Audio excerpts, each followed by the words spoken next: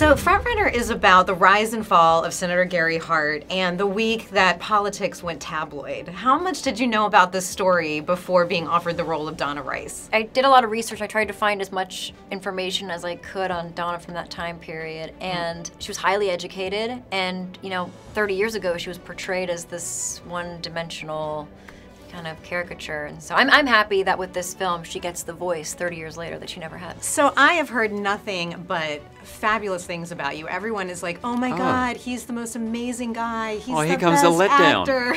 and so interesting for you to play a guy who really was kind of made into being not such the nice guy. This is an interesting role for you to take on. What was that This like? is unlike anything I have done. When you're playing someone who's alive, who's going to see the movie, and you're depicting possibly the worst three weeks of their life, the stakes get even higher. And he was very warm, Yeah. incredibly intelligent, and uh, he makes a mean martini, I can tell you. Jason Reitman, the director, has called you his muse. That's got to feel pretty great. How do you feel about that? Yeah, it's uh, it's great.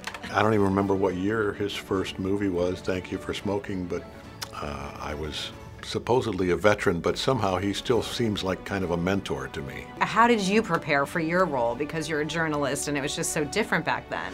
Jason would send us every day on set like a um, an article, like a page from like some newspaper, and it'd like, oh, this is how this is what's going on today in that in in '88.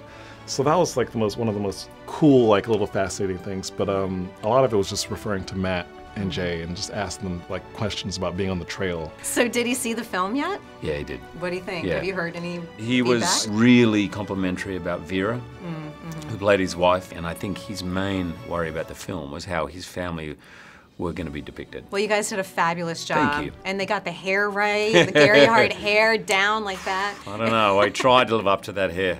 That was You the did. most daunting.